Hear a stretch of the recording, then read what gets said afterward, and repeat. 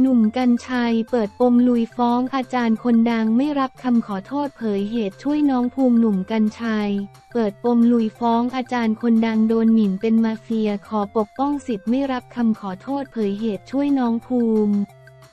อโทษที่ช่วยไม่ได้ทุกคนจากกรณีที่พิธีกรชื่อดัง หนุ่มกรรชัยกำเนิดพลอย ได้โพสต์ผ่านเฟซบุ๊กแจ้งว่าศาลได้ประทับรับฟ้องแล้ว ในคดีถูกหมิ่นประมาทเป็นมาเฟียหลังโดน อาจารย์มอ ดังด่าทอแซะแขวนประจานมานานเป็นปีทั้งที่ไม่เป็นความจริง ทำให้เกิดความเสื่อมเสียล่าสุดวันที่ 5 กันยายน 66 หนุ่มกรรชัย ได้ให้สัมภาษณ์ในงานแถลงข่าว Being Shine by Bell เปิดตัวเครื่องดื่มรังนก เบล ในฐานะพรีเซนเตอร์ที่ลานแฟชั่นฮอลล์ชั้นหนึ่งศูนย์การค้าสยามพารากอนถึงเรื่องที่ได้ใช้กระบวนการทางกฎหมายปกป้องสิทธิ์ของตนนอกจากนี้ยังเผยถึงเรื่องที่ได้ช่วยเหลือค่าใช้จ่าย น้องภูมิ ในการผ่าตัดปากแหว่งเพดานโหวและปิดหนี้ให้กับแม่ของน้อง พร้อมแจงไม่สามารถช่วยเหลือได้ทุกเคส หลังมีคนติดต่อขอให้ช่วยเข้ามาจำนวนมาก วอนอย่ากโกรธกัน เพราะตนไม่ได้มีเงินมากพอที่จะช่วยได้ทุกเคส เห็นว่าศาลรับฟ้องแล้วเรื่องนี้พูดยากเลยนะ จริง ๆ แล้วตลอดระยะเวลาที่ผ่านมาเกือบเกือบหนึ่งปีแล้ว ตัวผมไม่เคยตอบโต้หรือไม่มีการกล่าวพาดพิงหรือให้ร้ายบุคคลใด บุคคลอื่นเลย เพราะผมรู้สึกว่าทุกสิ่งทุกอย่างมันควรจะเป็นไปตามกระบวนการทางกฎหมาย คืออย่างที่ผมได้มีการโพสต์เลยครับว่าผมถูกอีกฝั่งได้มีการพูดพาดพิงมาเกือบเกือบหนึ่งปี โดยที่ผมไม่เคยตอบโต้ และผมก็ใช้กระบวนการที่มันถูกต้อง ก็คือผมได้ยื่นฟ้องต่อศาลและแจ้งความและวันนั้นที่ผมออกมาโพสต์ไม่ได้ต้องการมาปั่นกระแสหรืออะไรนะครับ ผมแค่อยากจะแจ้งให้ฟัง เพราะผมไม่เคยพูดเลยและหลายคนก็อาจจะเข้าใจผิด ว่าหนุ่มมันเป็นอย่างนั้นจริงหรือเปล่า กัญชัยมันเป็นอย่างนี้จริงไหม วันนั้นพอดีว่าศาลท่านประทับรับฟ้องและบอกว่ามีมูล เพราะฉะนั้นอีกฝั่งหนึ่งเขาก็จำเป็นจะต้องไปประกันตัว และต่อสู้ในกระบวนการชั้นพิจารณาต่อไป ผมก็เลยถือโอกาสตรงนั้นในการที่แจ้งให้กับคนที่ติดตามผมได้รับทราบ ว่ามันมีเรื่องนี้เกิดขึ้นนะ และวันนี้ที่หลายคนมองว่าผมปล่อยหรือเปล่า นิ่งเฉยหรือเปล่า จริงๆ แล้วมันไม่ได้เป็นอย่างนั้นนะครับ จริงๆ ผมจะบอกว่าผมใช้บริบทของการต่อสู้ทางกฎหมาย และศาลท่านเองก็มีการประทับรับฟ้องเรียบร้อย รวมแล้วฟ้องกี่คดี วันนั้นที่ฟ้องมีหนึ่งคดีและที่แจ้งความถ้าจำไม่ผิดน่าจะประมาณสองคดี เพราะคดีมันจะใกล้ๆกันเพียงแต่มันจะเป็นกรรมกรรมไปไม่ได้หมายความว่าแจ้งความอันนี้แล้วจะจบตรงนี้นะครับ ทางที่ปรึกษาทางกฎหมายก็จะไปแจ้งอันนี้นี้เพิ่มมันอยู่ที่ทางที่ปรึกษาทางกฎหมายของผมด้วย สิ่งที่เราคิดว่าไม่ไหวแล้วคืออะไร ผมรู้สึกว่าตลอดระยะเวลาที่ผ่านมา ผมว่าผมก็ไม่เคยทำร้ายใครนะครับ และผมรู้สึกการที่จะบอกว่าผมเป็นมาเฟียโซเชียลชักจูงสังคมไปในทางที่ไม่ดีแล้วเหมือนกับว่าผมเป็นหัวหน้าตัวตึง มีลูกน้องเป็นเพจสายดาร์ และมีการเอารูปผมไปใส่ไว้ในเพจของท่าน และไปบอกว่าผมไปอยู่ในกลุ่มนั้น ซึ่งข้อเท็จจริงมันไม่ใช่ครับ ผมเชื่อว่าคนที่ติดตามผมจริงๆ ก็คงจะรู้ว่าผมเป็นคนยังไง และมันอาจจะมีอีกหลายๆ คนที่ไม่ทราบ ก็อาจจะหลงเชื่อและทำให้เกิดการเสื่อมเสียในครอบครัวของผมขึ้นมาได้ ไม่ว่าจะเป็นลูกสาวผมหรือผมเองก็ตาม แต่ผมไม่อยากให้ลูกสาวผมไปโรงเรียนแล้วคนบอกว่าพ่อเป็นหัวหน้าตัวตึงเหรอ ชักชวนสังคมไปในทางที่ผิดเหรอ ผมก็เลยต้องปกป้องสิทธิของผมตรงนี้ ซึ่งเอาจริง ๆ เพจของผมที่เป็นชื่อของผมเอง ผมมีคนตามอยู่ประมาณเกือบ 3 ล้านคน ผมไม่เคยเอาเพจของผมไปลงทำร้ายใคร คือถ้าเกิดผมจะลงก็ลงได้นะ แต่ผมไม่เคยท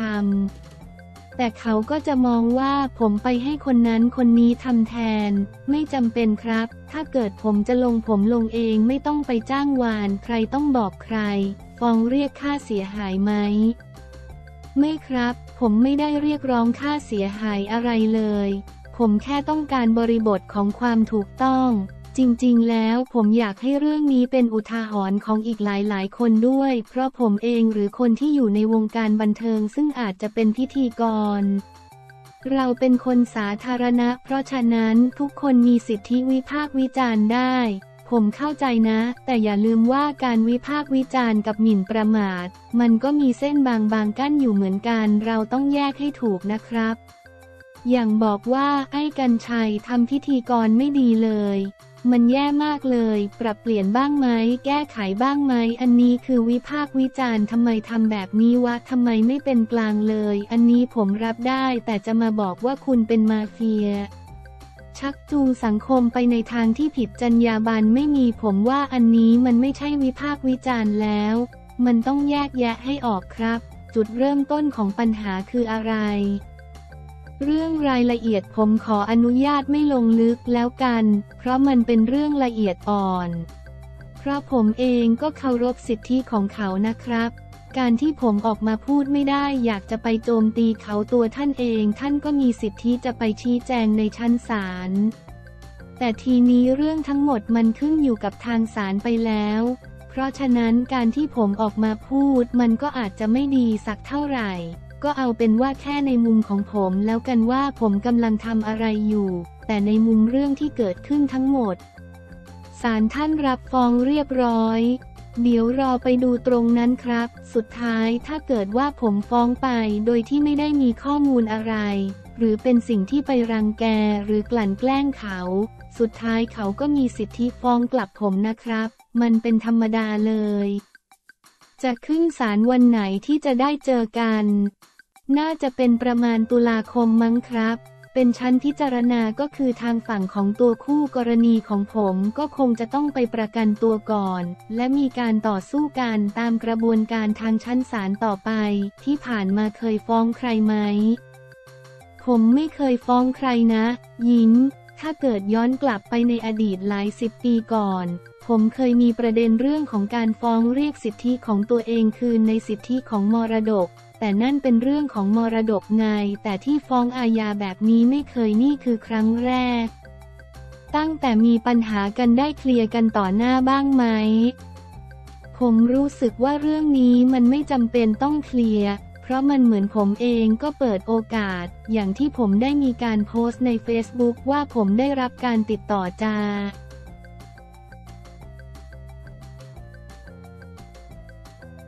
ก่อคนรอบข้างหลายครั้ง บอกว่าคู่กรณีของผมอยากจะขอโทษผม และเดี๋ยวจะมาหาผมในคืนนี้แต่สุดท้ายก็ไม่ได้โทรมาก็จะมีแต่เสียงที่ฝากคนนั้นคนนี้มา และไม่ได้โทรมาเองอีกสองวันก็มีการไปร้องผมที่ช่องสาม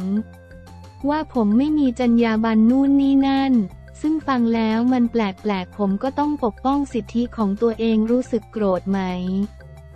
ไม่ได้โกรธนะ เพียงแต่ว่าไม่ชอบไม่ชอบการคุกคาม สิทธิ์อะไรกันแบบนี้ศาลรับพิจารณาแล้วมันปลดล็อกเลยไหม ไม่เลยครับ คือผมเฉยๆกับเรื่องพวกนี้มาก เพราะว่านอกเหนือจากตัวผมฟ้องเขาแล้ว ผมว่าผมก็โดนคนอื่นเขาฟ้องอยู่แล้วเหมือนกัน เพราะฉะนั้นเราเหมือนมีวัคซีนในการคิดแล้วก็ปกป้องความรู้สึกตัวเองอยู่แล้ว ผมคิดบวกอยู่แล้วเลยไม่ได้รู้สึกว่าต้องนอนไม่หลับหรืออะไร เรียกว่าช่วงขาขึ้น ใช่ใช่ขึ้นศาลหัวเราะ ส่วนตัวอยากทราบไหมว่าเขาติดใจหรือไม่ชอบอะไรเรา ไม่อยากทราบหรอกครับว่าทำไมท่านถึงไม่ชอบหรืออะไร คือผมก็ไม่ได้อยากจะไปฟื้นฝอยตรงนั้น เพียงแต่ว่าผมแค่รู้สึกเสียใจว่ามันไม่น่ามีเหตุแบบนี้เกิดขึ้น ก็ไม่รู้ว่าเขาคิดมุมไหนแบบไหนเลยถึงได้มีการทำออกมาแบบนี้ ถ้าผู้กรณีอยากขอโทษก่อนไปขึ้นศาลจะมีโอกาสอะไรไหม คงไม่ครับ คือผมว่าสุดท้ายไปว่ากันบนศาลดีกว่ามันเป็นสิทธิที่ผมต้องปกป้องแล้ว ผมว่าทั้งหมดมันก็มีสิทธิ์ของท่านด้วยเหมือนกัน ซึ่งถ้าเกิดผมใส่ร้ายเขาเขาก็มีสิทธิ์มาฟ้องกลับผมเกิดโอกาสตรงนี้ ถ้าเกิดเรามาเจรจากันข้างล่างมันก็เท่าไหร่ แล้วยังไงผมถูกด่ามาปีหนึ่งอ๋อโอเค ยกมือขอโทษแล้วจบไปแบบนี้เหรอ มันก็ไม่ใช่อย่างน้อย ผมต้องการให้บริบทนี้มันเกิดขึ้นในสังคมด้วยเหมือนกันว่าทำแบบนี้ไม่ถูกต้อง ถ้าผมผิดผมไปใส่ร้ายก็ฟ้องกลับผมมาก็จบแค่นั้น อยากจะให้เป็นเคสตัวอย่าง คือจะพูดอย่างนั้นไม่ได้ เอาเป็นว่าเป็นอุทาหรณ์ในเรื่องหนึ่งแล้วกัน ราะว่าถ้าเกิดเป็นตัวอย่างผมว่าตัวอย่างมันเกิดขึ้นเยอะแยะมากมายในสังคม เพียงแค่เราไม่ได้ไปจับต้องเท่านั้นเอง มั่นใจในหลักฐานขนาดไหน ถ้าหลักฐานผมไม่แน่นจริง ๆ ศาลไม่ประทับรับฟ้องหรอก ฝั่งเขาก็แน่นเหมือนกัน เป็นสิทธิ์ของเขาเขาก็มีสิทธิ์ที่จะหาหลักฐานต่างๆ นานาที่จะมาบอกว่าเขาไม่ได้หมิ่นผมตรงไหน เครียดไหม ไม่เครียดเครียด หัวเราะ ไม่อะไรผมชิลมากเลย ยิ้ม ถามถึงเรื่องที่ช่วยเหลือน้องภูมิ น้องภาคภูมิที่เป็นปากแหว่งเพดานโหวจริงๆ มันเป็นเรื่องบังเอิญแล้ว ผมรู้สึกอยากช่วยน้อง เพราะว่าก่อนหน้านี้ที่ทราบกันว่ามีการไปขึ้นป้ายว่าเขาอยากจะขายบ้าน เพื่อจะเอาเงินมาผ่าตัดแม่ติดหนี้อยู่ประมาณ 80,000 บาท แล้วน้องจำเป็นต้องผ่าตัดปากแหว่งเพดานโหวผ่าตัดฟรีของเด็ก แต่ว่ามันจะมีค่าอุปกรณ์เพิ่มเติม ซึ่งตรงนั้นแม่ไม่มีแม่ก็เลยไปคุยกับคนที่รับขายบ้านให้เอาบ้านไปรีโนเวทแล้วก็ขาย แล้วแม่ก็จะไปอยู่ที่อื่นแล้ว เอาเงินตรงนั้นมารักษาน้องเพราะว่าแม่ไม่ตังสักบาทเลยทีนี้พอเราเห็นก็รู้สึกว่าเราช่วยได้ เราก็อยากช่วยอย่างที่ผมเคยพูดไปหลายครั้งว่าเวลาที่เรารับเราได้อะไรมาแล้ว เราควรต้องคืนให้สังคมบ้าง พอผมเห็นแล้ว ผมไม่อยากเฉย ซึ่งผมจะเฉยก็ได้ เพราะเดี๋ยวก็จะมีคนนั้นคนนี้เข้ามาให้ช่วย แต่ผมไม่อยากเฉยก็เลยเรียกเข้ามาคุยเขาก็มาช่องสามแม่ก็บอกว่าเขาติดหนี้อยู่ห้าเจ้า รวมกันเป็นเงิน 80,000 แม่บอกไม่ต้องการอะไรเขาจะใช้นี้เอง แต่เขาอยากให้ผมช่วยในเรื่องการผ่าตัดของน้องในส่วนต่างของโรงพยาบาลที่เหลือ แล้วผมก็ถามว่าหลังจากผ่าตัดแล้ว แม่จะทำยังไงต่อไป แม่ก็บอกรอขายบ้านถ้าขายบ้านไม่ได้ ก็ไม่รู้จะทำยังไง เพราะเขาต้องไปขายของเอาเงินไปจ่ายหนี้นอกระบบ ราะฉะนั้นเด็กก็ไม่มีเงินไปเรียนหนังสือ แล้วแม่ก็ต้องเป็นหนี้แบบนี้ แล้วก็ไม่รู้ว่าเรื่องของการดูแลตัวเองอาการป่วยจะเป็นยังไง สุดท้ายผมก็เลยตัดสินใจใช้หนี้ให้เลยแล้วกัน แต่ผมไม่ได้ให้ตังแม่นะ ผมโทรศัพท์ไปหาเจ้าหนี้ทั้งห้าเจ้าผมคุยเองเลย โทรไปถามว่าคุณมีตัวตนจริงไหมคนนี้เขาติดหนี้คุณเท่าไหร่ ขอหลักฐานห้าคน ผมก็จ่ายให้ทุกคนหมด ก็ปิดหนี้แม่ไปตัวน้องก็ไปผ่าตัดผมก็โอนเงินค่าผ่าตัดส่วนต่างไปให้ เสร็จแล้วเด็กก็ต้องไปหาหมอเพิ่มอีก มีค่ากินค่าอยู่ ผมก็โอนเงินไปให้อีกส่วนหนึ่ง ถ้ามีอะไรเกี่ยวกับเด็กให้มาบอกแล้ว ผมจะจัดการให้ ก็ไม่คิดว่าเขาจะไปลงใน Facebook มาขอบคุณเรา ทางคุณแม่และน้องได้มีการพูดอะไรส่วนตัวกับเราไหม ไม่มีครับ แต่เขาไปลงใน Facebook ตอนแรกก็ไม่รู้นะ แต่ว่าเห็นในหนังสือพิมพ์ไปลงว่ามีการขอบคุณ หลังจากนั้นผมก็เลยให้ทางทีมงานโทรไปคุย จริงๆ แล้วตอนแรกก็ไม่ได้อยากให้มันเป็นข่าวอะไรขึ้นมา อันนี้ต้องยอมรับอย่างหนึ่งคือผมไม่สามารถช่วยทุกๆ คนได้ พอมันมีข่าวขึ้นมา มันจะมีคนวิ่งเข้ามาหาผมเยอะ มาให้ผมช่วยมีคนส่งเข้ามาเยอะมาก คือผมอยากช่วยทุกคนนะ แต่ว่าผมอาจจะไม่ได้มีกำลังขนาดนั้นจริง ๆ เรื่องนี้ที่ผมช่วยเขาได้มันคลิกพอดีมันก็เลยมีโอกาสได้ช่วยเขาเกณฑ์ในการเลือกแต่ละเคส ไม่มีเลยมันไม่ได้อยู่ที่เกณฑ์เลยอย่างเร็วๆนี้ก็มีเด็กคนหนึ่งไม่ได้เป็นอะไรนะ แต่น้องเป็นนักแบดตีแบดอายุประมาณมาอยู่เท่ามาอยู่เลย แล้วเป็นนักแบดแข่งชนะที่สองที่สาม